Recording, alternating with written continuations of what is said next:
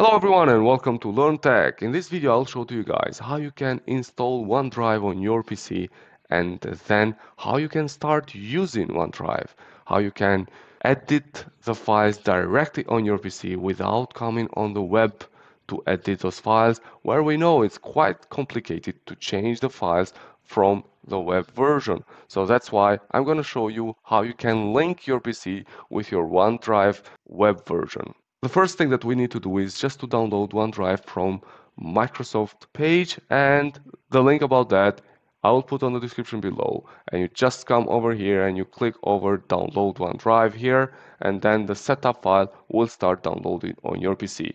It's quite easy to install OneDrive. You just have to click over it once it's downloaded and then the installation setup will start. After we are done with the installation, I will show to you how you can synchronize OneDrive with your online account. So whatever you edit on your web browser or in your PC, then it will be shown here. Another thing that Microsoft have done is that it is providing for you OneDrive mobile app and you can download it on your Android or in your iPhone and there you can also edit the files and they will be synchronized with all the devices where you are using the same account for OneDrive. Here we are, OneDrive is installed now. So we have installed OneDrive Personal. In order to open OneDrive, you just search here OneDrive and then it will show the application. Or another way how you open the OneDrive is by clicking on this cloud here. So you just click over here and then it will show the OneDrive. Here you can edit or change the settings of OneDrive by clicking over here, Help and Settings, and then you choose Settings, and over here you can adjust which account you want to use for your OneDrive by clicking here add an account or unlink this PC. So if this is not the account that you want to synchronize with your computer then you can unlink this PC and add another account. In order to specify the folders that you want to synchronize with your PC, you need to click over here, choose folders, and here you can specify the folder that will be on your PC and at OneDrive web version.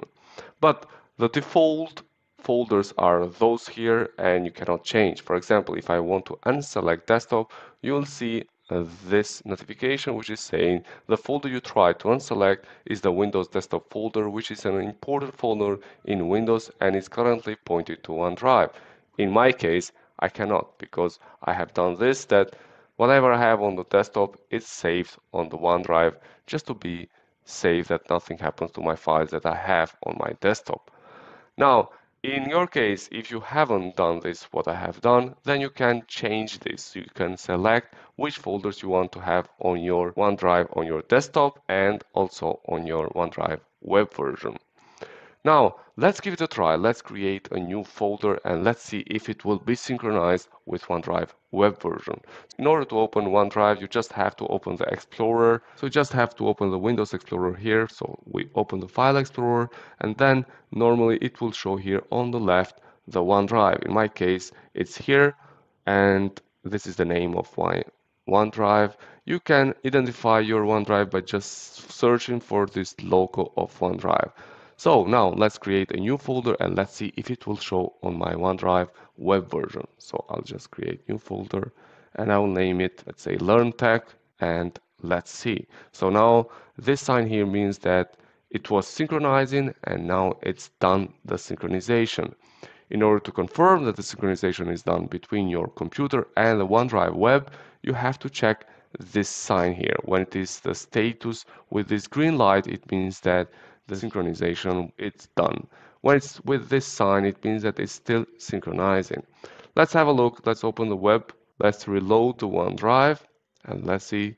Here we are. So the Learn Tech folder that I just created, it is showing also in the OneDrive web version. Let's try the opposite. Let's create a folder on the web version and let's see if it will show there. I'll name this one YouTube and let's see. Here it is. It's showing here. Let's go back to the one drive that I have here and let's see if it will show here. Let's go back once and let's see. Here we are, the YouTube folder is showing over here. Now that we have more folders that we have created, let's give it a test and let's change the folders that I want to synchronize with my PC. So we open the settings here once again and let's click over account and then we choose the folders that I want to synchronize and as we can see there are more folders over here. I'm just gonna unselect the folder learn tech which means that I don't want this folder to be on my PC but only at the OneDrive web version. So it will be here on the OneDrive web version but it will not be anymore on my PC. Let's click OK and let's have a look. Now learn tech it's gone we can do the same, let's say, for the YouTube folder that I have just created.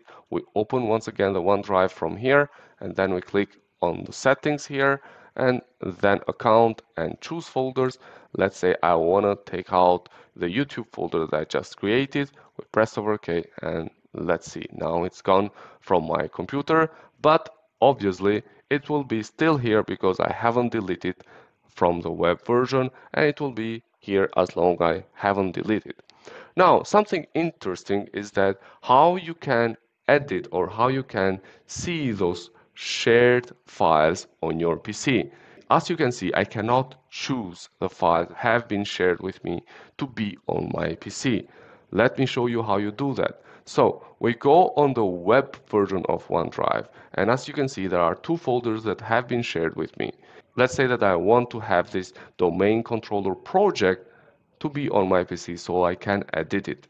Now we select the folder and then we click add shortcut to my files and in this way it will add a shortcut to my files. Let's go over my files here on the left and as we can see now domain controller project is also showing on my files. Now let's open the OneDrive and let's select choose folders and as we can see now, domain controller project is showing as a folder that I can select to be on my PC. Let's open now the OneDrive and let's have a look on my PC if it is showing. Here we are, domain controller project is showing now on my PC. And now if I want to edit this domain controller project on my PC, it will be already shared also with the other persons that are on this project. So let's create, for example, a new folder over here and let's have a look. Let's open the My Files and now we can see that it is showing this new folder here on the My Files, but also if we click over Shared and we select the domain controller project, we can see that this change that we did on this folder, it is showing on the shared. There are because there are high chances that this folder is used also from other persons because it is shared between different persons that are working on this project. So this is the easiest way and the best way how you can edit the folders that are shared with you on your PC. So we select the folder and we just create a shortcut to my files. So basically the project remains here where it is shared, but you just create a shortcut to your files and in this way you can edit over there. Let's have a look if this shared project the changes are reflected with the other user. In this case, I'm using another user and let's have a look if it's replicated over here. We click over domain controller and here it is. It is shared the change also with this other user. Good, so those are the main things that you're going to need for OneDrive in order to download it on your PC, to synchronize with your OneDrive web version, to synchronize your files or the shared files.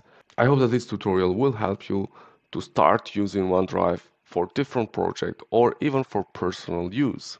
That's all that I wanted to share with you guys for this time. Please leave your comments below. Let me know if you like this video or what you want to be clarified in another video for OneDrive. Thanks a lot for watching and please consider subscribing to our channel. Wish to you all the best.